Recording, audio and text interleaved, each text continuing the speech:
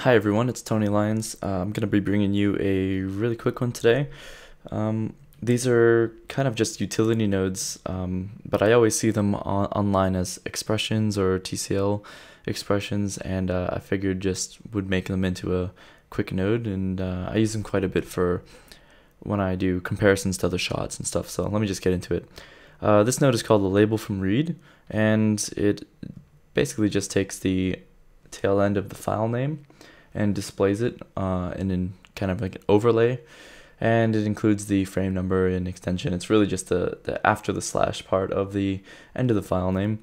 And yeah, it's uh, automatic. You can have a description too. So if you just type in a description, like if you have um, pending review or something, or if you're trying to match someone else's uh, look dev, you say uh, look dev approved or something like that. And if you have a contact sheet uh, with all these, then you can, you know, match to some of them. Uh, so some other settings are just the text color. You can increase the border size so you get a bit nicer borders um, in case you need to put it over something white. Um, yep, just an overall size, a Y position, and a mix in case you need that. So say you had a bunch of shots and you needed to review. Uh, I would copy and and if you don't have W Hotbox, you should definitely go download that right now by uh, Wouter Gilsing. And uh, here it is here. Uh, it's just like Maya's um, spacebar menu and allows you to execute a bunch of Python commands and stuff. So I was just using the uh, paste to selection that he's got on by default. So again, it's awesome. Go download it if you don't have it. And um, something that I've been using uh, lately is uh, a, an automatic contact sheet, and I sort of picked that up from Ben McEwan. Yeah, his blog is awesome and his newsletter is great. So if you're not subscribed to him, definitely go subscribe to him. And I'll put a link to this Power Up Your Contact Sheets uh, in the video and in Nukepedia and everything.